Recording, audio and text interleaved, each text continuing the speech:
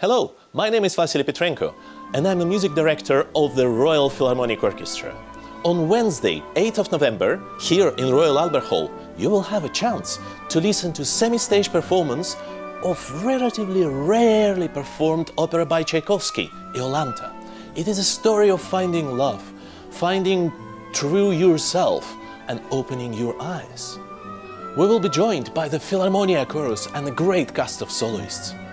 And to give you even more magic before that, it will be preceded by performance of second act of Nutcracker. Tchaikovsky wanted and insisted on those two pieces being performed together, and that's how they were premiered. Let's find out what was the intentions of the great Piotr Ilyich.